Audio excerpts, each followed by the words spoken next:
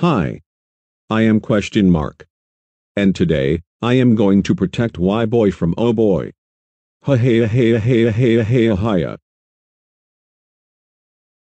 Come on, Y boy. Can you be in another computer? Please, Y boy?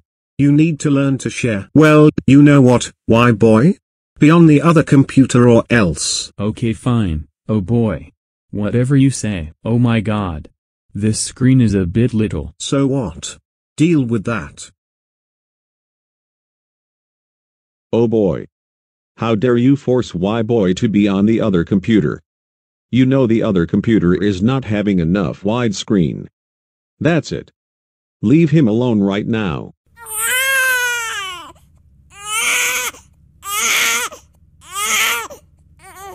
Thank you so much question mark. You are the best. Now I will leave too. Oh no.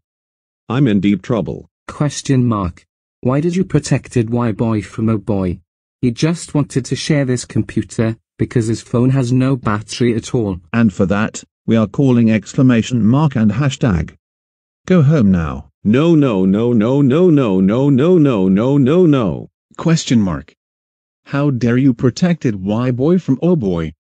You know that Y boy didn't share his computer with oh boy, and oh boy's phone has no battery at all. That's it. You are grounded until Holocaust Day.